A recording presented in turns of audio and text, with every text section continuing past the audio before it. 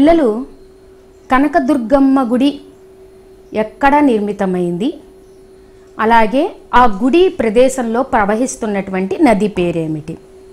ఖచ్చితంగా అందరికీ తెలుసు విజయవాడ నగరంలో ఉంది కనకదుర్గమ్మ గుడి. ప్రవహించేటువంటి నది కృష్ణానది ప్రకాశం బారేజీ అనే ఆనకట్ట ఏ నది మీద కట్టబడింది? మళ్ళీ కృష్ణానది అంటే కృష్ణా నది అనగానే ఎందుకో ఒళ్ళు పులకరిస్తుంది. ఎందుకంటే ఎంతోమంది దాహార్తిని తీస్తూ ఆంధ్రప్రదేశ్లో ప్రవహిస్తున్నటువంటి నది కృష్ణ కృష్ణానది ఈ కృష్ణానది ఒడ్డునే పుణ్యక్షేత్రాలు శ్రీశైలం కానీ తర్వాత మనకి కనకదుర్గమ్మ వారి గుడి కానీ ఇవన్నీ మనకి అనేక గుళ్ళు వాటితో పాటుగా ఉన్నటువంటి గుడి. చెప్పగలరా? అనగానే వెంటనే అమరావతి అమరేశ్వరుడు వెలసినటువంటిది. అవునా? కాబట్టి ఆ అమరావతి యొక్క పట్టణ యొక్క ప్రాముఖ్యతని తెలుసుకోవటానికి అలాగే ప్రస్తుతం తెలంగాణ ఆంధ్ర రాష్ట్ర విభజన జరిగిన తరువాత కొత్తగా రాజధానిని ఎక్కడ నిర్మించాలి అనేటువంటి ప్రశ్న ఉదయించినప్పుడు ఈ అమరావతినే రాజధానిగా చేసుకుని పరిపాలన చేస్తే బాగుంటుంది అని ప్రభుత్వం వారు నిర్ణయించటం ఆ నిర్ణయం ప్రకారం రాజధానిగా అమరావతిని చెప్పడం జరిగింది. అదుగో అందుకనే అమరావతి ప్రాముఖ్యత ప్రతి ఆంధ్రుడికి ప్రతి తెలుగువాడికి ఎంతో కొత్త ప్రాథమిక అవగాహన ఉండాలనే ఉద్దేశంతో మనకి అమరావతి అనే పాఠ్యాంశాన్ని పెట్టడం జరిగింది. మరి ఇంకెందుకు ఆలస్యం పిల్లలు? మన అమరావతి గురించి తెలుసుకుందామా? చూడండి ఇక్కడ మనకి పెద్ద బుద్ధుని చిత్రం మనకి ఇక్కడ కనిపిస్తోంది. అమరావతి. మరి అమరావతి గురించి పక్కన ఒక మంచి పద్యం కూడా ఉంది చూడండి. సూర్యాది గ్రహరాశి సుప్రభాతము పల్కి కరముల స్పృచయించు పురము ఇలాను ఇలను ఈ ప్రప ఈ భూమి పైన సూర్యాది గ్రహరాశి సుప్రభాతము పల్కి కరముల స్పృశయించు పురము. పురము అంటే పట్టణం. ఈ భూమి పైన సూర్యుడు తన గమనాన్ని ప్రారంభించిన వెంటనే అంటే సూర్యోదయం అవుతూనే సుప్రభాతము పలుకుతూ తన స్వహస్తాలతో స్పృశించేటువంటి తాకేటువంటి పట్టణము ఏది? అమరావతి. ఇక్కడ ఎవరు స్పృశిస్తున్నారు? ఎవరి చేతులతో స్పృశిస్తున్నారు అంటే కృష్ణమ్మ తల్లి తన పరవళ్ళతో స్పృశిస్తున్నటువంటి పట్టణమే అమరావతి. కృష్ణాతరంగిణి కృత శుద్ధ పావన గంభీరత నలరు కనకనగరి. కృష్ణా తరంగిణి కృష్ణా నది ప్రవహిస్తున్నటువంటి స్వచ్ఛమైనటువంటి నీటితో గంభీరమైనటువంటి గాంభీర్యాన్ని తాలుస్తూ అలరారేటువంటి బంగారు కనక బంగారంతో కూడినటువంటి పట్టణం అంటే బ కనక వర్షం కురిసినటువంటి పట్టణం అని చెప్పచ్చు. అందుకని ఇక్కడ అమరావతిని ప్రస్తుతిస్తూ బుద్ధాది మౌనీంద్ర పుణ్యపాదములతో పరమ పావనమైన పురము భూమిని ఈ భూమిపైన బుద్ధుడు మొదలగు తపస్సులు ఎంతోమంది నడిచి వెళ్తుంటే వారి పాద స్పర్శచే పుణ్యం పొందినటువంటి ప- పవిత్రమైనటువంటి భూభాగం ఈ అమరావతి అని కొనియాడబడుతూ రాజాధిరాజుల రాజధానిగా వెలిగి ఆంధ్రజాతికి వన్నె అమరపురము. ఎంతోమంది రాజుల చేత పరిపాలింపబడి ఆ ఆంధ్రజాతి మొత్తానికి పేరు ప్రతిష్టలు తెచ్చుకొచ్చినటువంటి నగరము. తెలుగు వెలుగుల జిలుగులు చిలుకరించ కలుముల వెలది నిలయమై బెలిమెంచి సకల సురలయాశీసుల సారమౌచు. అందరికి సారవంతమైనటువంటి భూభాగాన్ని అందరి పొలాల్ని సారవంతంగా చేస్తూ వెలుగులను విరజిమ్ములుతూ అందరి జీవితాల్లో ఆనందాలు వెల్లివిరుస్తుండగా అందరికీ తన సంపదను భాగ్యాన్ని పంచిపెడుతూ విశ్వ అవనికపై వెలుగు వీటిగనుడు విశ్వ అవనికపై ప్రపంచంలో ఉన్నటువంటి భూభాగాలన్నింటిలోనూ ప్రసిద్ధిగాంచినటువంటి ఈ భూమి గురించి చూడండి. తెలుసుకోండి. ఎంత బాగుందో కదా? పై పద్యంలోని నగరం ఏ నది ఒడ్డున ఉన్నది? పద్యంలోనే ఉంది కదా? కృష్ణా తరంగిణి కృత శుద్ధ పావన గంభీరత నలరు కనక నగరి కాబట్టి కృష్ణానది పద్యంలో ఏ పట్టణం గురించి చెప్పబడింది? ఖచ్చితంగా మనకు అక్కడ వెలసినటువంటి విజయనగరం అంటే విజయవాడ అమరావతి. పద్యంలోని పట్టణం ఏ ఏ భాషా ప్రాంతంలో ఉండి ఉండవచ్చు? అంటే తెలుగు భాషా ప్రాంతమే అక్కడ విరాజిల్లుతోంది. ఇంకా పాఠ్యభాగ ఉద్దేశం దగ్గరికి వస్తే ఆంధ్రప్రదేశ్కు నూతన రాజధానిగా అమరావతి నిర్మితమవుతోంది. చారిత్రక సాంస్కృతిక ఆధ్యాత్మిక నేపథ్యం గల అమరావతి గురించి ఈనాటి ఆంధ్రులు తెలుసుకోవాల్సిన అవసరం ఉంది.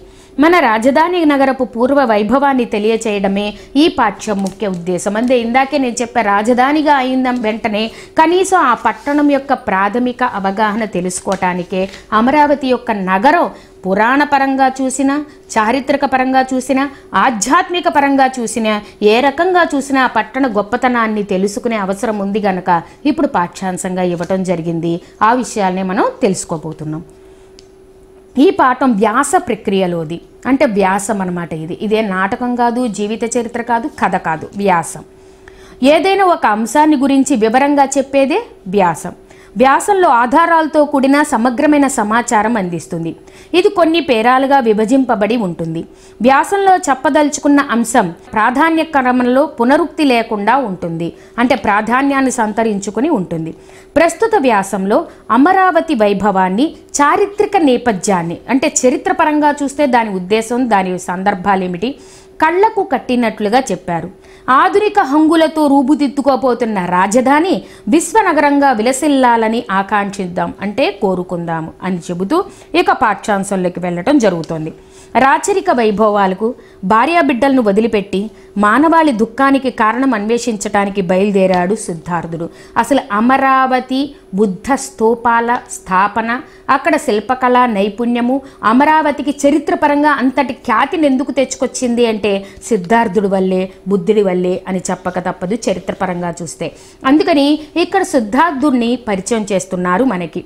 సిద్ధార్థుడు చిన్నతనంలోనే అతను పుట్టినప్పుడు జాతకాన్ని చూపిస్తే జ్యోతిష్యులు చెప్పారు సిద్ధార్థుడైతే చక్రవర్తి అవుతాడు లేకపోతే సన్యాసి అవుతాడు అని.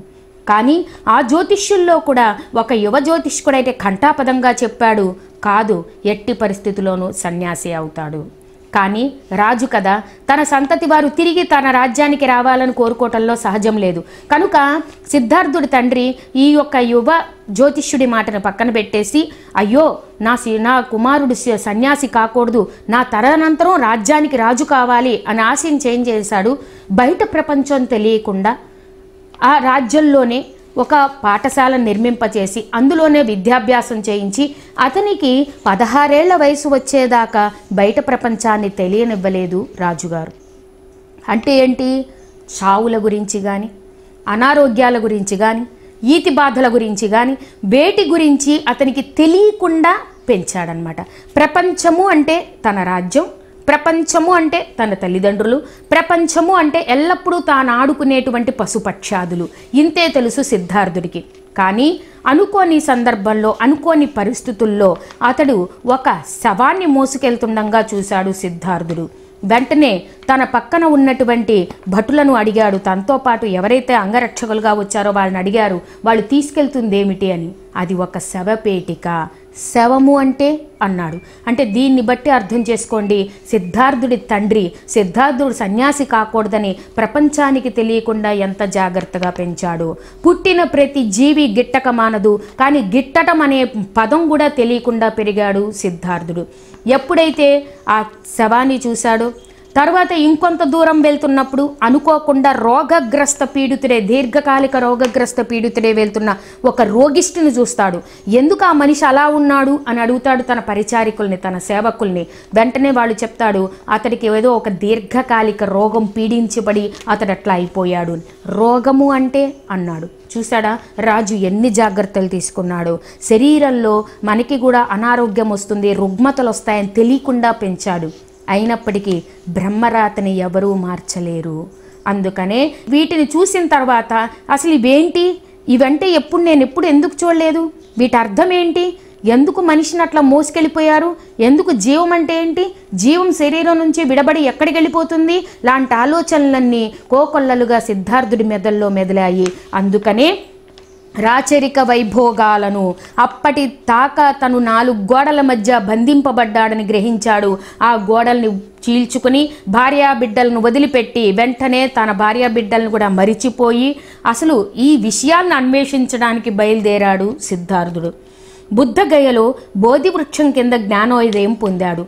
సమస్త దుఃఖాలకు కారణం కోరిక లేనని గుర్తించి బుద్ధుడు చాతుర్యార్య సూత్రాలను దుఃఖ నిరోధానికి ఆర్య అష్టాంగ మార్గాలను బోధించాడు. బుద్ధిని బోధలనన్నింటినీ కలిపి ఆయన మహాపరినిర్వాణం తర్వాత త్రిపీఠకములుగా ద్వారా బౌద్ధ ధర్మాన్ని ప్రబోధించారు.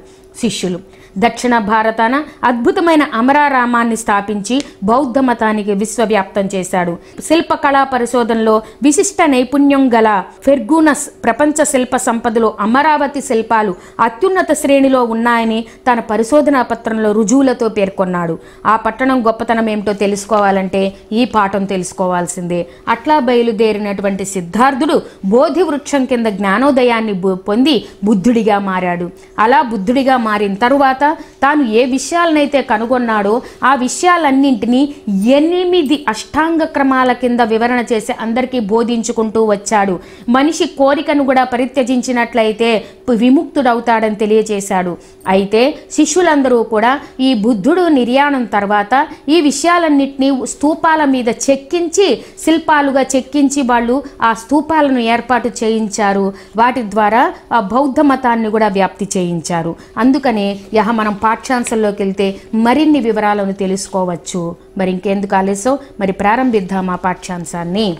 అమరావతి పట్టణమున బౌద్ధులు విశ్వవిద్యాలయాలు స్థాపించునాడు. ఆంధ్ర సంతితికే మహితాభిమాన దివ్య దీక్షాముఖ స్ఫూర్తి తీవరించే ఆ మహావేశ నిర్మించి ఆంధ్రులారా. ఆంధ్రులారా ఎప్పుడైతే మన అమరావతి పట్టణంలో బౌద్ధుల విశ్వవిద్యాలయాలు స్థాపింపబడతాయో బోధింపబడతాయో అప్పుడే ఆంధ్రజాతి మొత్తం కూడా వెలుగులోకి వచ్చి వాళ్ళు ప్రఖ్యాతి చెందుతారు. అంతేకాకుండా స్ఫూర్తి అంటే వివేకాన్ని కలుగుతుంది వాళ్ళకి అని చెబుతూ ఆంధ్రుల లోకమున అక్షతలు నేడు అని కవులు కీర్తించిన విధంగా అని కవులందరూ పాడి పొగిడినటువంటి విధంగానే నవ్యాంధ్ర రాష్ట్ర రాజధాని అమరావతి అనే పేరు నిర్మించడమైనది. అంటే ఆ పేరు ఎందుకు వచ్చిందో ఇక్కడ చెప్పాడు. అమరావతి పట్టణములకు బౌద్ధుల యొక్క విశ్వవిద్యాలయాలు స్థాపింపబడ్డాయి. ఆ బౌద్ధుల ద్వారా మనకు వచ్చినటువంటి ఆ విద్య ఒక వెలుగై అందరికీ ప్రపంచం మొత్తానికి ఒక వెలుగును చేకూర్చింది. ఆ వెలుగులోనే స్ఫూర్తి తీవ్రించి వివేకాన్ని పొంది మొత్తం ఆంధ్రలోకానికి వర్ధిల్లుతున్నది అని చెప్పబడుతూ అందుకనే అమరావతి అనే పేరు నిర్ణయించడమైందని చెప్పారు. అంతేకాకుండా ఇంకో పాట కూడా ఉంది మనకి చెయ్యెత్తి జేకొట్టు తెలుగోడా గతమెంతో ఘనకీర్తి కలవోడా అన్న స్ఫూర్తితో అమరావతి చారిత్రక వైభవాన్ని గురించి తెలుసుకుందాం. తెలుగువాడు ముందు తన తెలుగు వైభవాన్ని తెలుసుకోకుండా పక్కవాడి వైభవాన్ని పొగుడుకుంటూ పోతే ఎట్లా? కదా? కనుక అసలు మన వైభవం ఏంటో ఇప్పుడు మనం తెలుసుకుందాం. గలగలా పారే కృష్ణానదీ తీరాన వెలసిల్లిన ధాన్య కటకం తెలుగు రాజులైన శాతవాహనుల రాజధాని. దీనినే ధరణీకోట అని కూడా పిలిచేవారు. కాలక్రమంలో అమరావతిగా స్థిరపడింది. అంటే చరిత్రపరంగా మీరు పిల్లలు చూసుకుంటే శాతవాహనుల యుగం అని ఉంది మనకి చరిత్రలో హిస్టరీలో. ఆ శాతవాహన యుగం ప్రారంభమైనప్పుడు ఈ శాతవాహనులు పరిపాలన చేసేటప్పుడు ఈ అమరావతినే రాజధానిగా చేసుకుని పరిపాలించారుట. ఈ ధాన్య కటకమని పిలిచేవాళ్ళప్పుడు తర్వాత తర్వాతి కాలంలో ఇది అమరావతిగా పేరు నిర్ణయింపబడిపోయింది. ఏ నది ఒడ్డున ఉంది అంటే కృష్ణా నది ఒడ్డున ఉన్నది.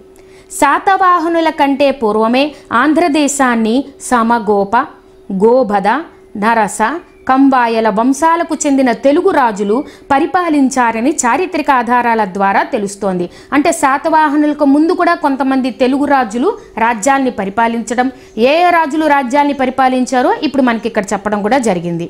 కంబాయల పాలనలో సామంతరాజుగా ఉన్న శాతవాహన సిముఖుడు అతన్నే శ్రీముఖుడు అన్నాం. స్వాతంత్రం ప్రకటించుకొని శాతవాహన సామ్రాజ్యాన్ని స్థాపించాడు. అంటే అప్పటిదాకా వాళ్ళు స్వతంత్ర రాజులు కారు సామంత రాజులుగా ఉన్నారు. ఎప్పుడైతే శ్రీముఖుడు తనకు తన రాజ్యాన్ని స్వతంత్రంగా ప్రకటించుకుని సామంతుల రాజు నుంచి విడివడి ప్రారంభించాడో అక్కడి నుంచి శాతవాహనుల సామ్రాజ్యం అంటే శాతవాహనులు పరిపాలన చేసే శాతవాహన యుగం ప్రారంభమయ్యింది. ఇదే శాతవాహన వంశానికి మూల పురుషుడు కాబట్టి శ్రీముఖుడే మూల పురుషుడిగా పిలువబడుతున్నాడు.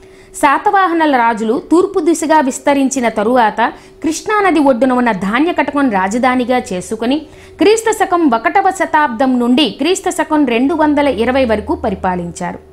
గౌతమీపుత్ర శాతకర్ణి పులోమావి యజ్ఞశ్రీ శాతకర్ణి మొదలైన శాతవాహనుల రాజుల కాలంలో ధాన్య కటకం ఎంతో అభివృద్ధి పొందింది. ఇంకొక విషయం మీరు గమనించారా? శాతవాహనుల కాలంలో స్త్రీ శక్తికి ప్రత్యేకమైన గౌరవం ఇవ్వబడింది. అందుకనే వాళ్ళు తమ మాతృల పేర్లు మీదుగా ఇక్కడ చూడండి గౌతమి పుత్ర శాతకర్ణి. అంటే గౌతమి పుత్రుడు శాతకర్ణి పరిపాలన చేశాడు అని ముందు తల్లి పేరుని చేర్చుకుని తర్వాత కుమారుడి పేరు వచ్చేది. అంటే అప్పుడు వాళ్ళు తమ తల్లిదండ్రులకి ఎంతటి గౌరవాన్ని ఇచ్చారో మనకి తెలిసిపోతుంది. అందుకనే స్త్రీ శక్తి ఆ రోజున అంతగా పూజింపబడింది శాతవాహనుల కాలంలో. అందుకనే ఆ రాజులు ధాన్య కటకాన్ని అభివృద్ధి చేశారుట.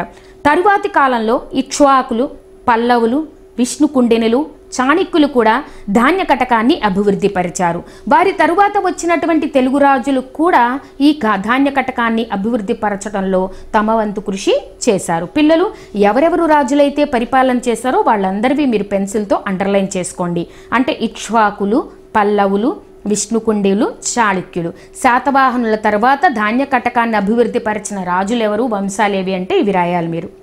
తదనంతరం ధరణీకోట రాజధానిగా చేసుకొని కోటభేతరాజు వంశజులు పరిపాలించారు. ఇక కాకతీయ సామ్రాజ్యాన్ని రుద్రమదేవికి కోటరాజులకు సంబంధ బాంధవ్యాలు ఉండేవి విజయనగర ప్రభుల పాలనలో అమరావతి ప్రసిద్ధ పుణ్యక్షేత్రంగా పేరొందింది. కొండపల్లిని జయించిన విజయయాత్రలో విజయనగర చక్రవర్తి శ్రీకృష్ణదేవరాయలు అమరావతిలోని అమరలింగేశ్వర స్వామిని దర్శించి విలువైన కానుకలు సమర్పించినట్లు శిలాశాసనాల ద్వారా తెలుస్తోంది.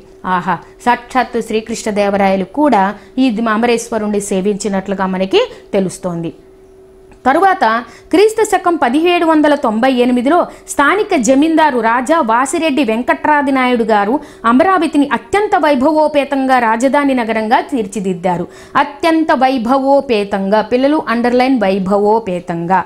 విడదీస్తే వైభవ ప్లస్ ఉపేతమైన వైభవోపేతమైన. అంటే ఏంటి? అత్యంత వైభవంతమైనటువంటి రాజధానిగా తీర్చిదిద్దడం జరిగింది. అమరావతి అనేక మంది ప్రభువుల పాలనలో కాలానుగుణంగా మార్పులు పొందింది. కాల ప్లస్ అనుగుణంగా కాలానుగుణంగా అంటే సమయానుకూలంగా కాలానుగుణంగా అనేక మార్పులు కూడా ఇక్కడ చేయటం జరిగింది. ఆయా రాజుల పరిపాలనా విధానాలు మతాచారాలు సంస్కృతి సాంప్రదాయాలు అమరావతి మీద ప్రభావం చూపించాయి. అందువల్లనే అమరావతి ఆంధ్రప్రదేశ్కు సాంస్కృతిక రాజధాని అయ్యింది. ఇక్కడ బౌద్ధ జైన శైవ వైష్ణవ ముస్లిం క్రైస్తవ మత సాంప్రదాయాల సంస్కృతుల ప్రభావాలు కూడా కనిపిస్తాయి. అంటే భిన్నత్వంలో ఏకత్వం భారతదేశం అంటే ఇక్కడ చూపించవచ్చు అన్ని మతస్థులకు సంబంధించినటువంటి శిల్పాల ద్వారా సంస్కృతుల ద్వారా ఇక్కడ ఈ అమరావతిలో స్థాపించబడినటువంటి గోడల మీద మనకు ప్రస్ఫుటంగా కనిపిస్తూ ఉంటాయి. చరిత్రపరంగా ఇప్పుడు మనం అమరావతి గొప్పతనం గురించి తెలుసుకుందాం.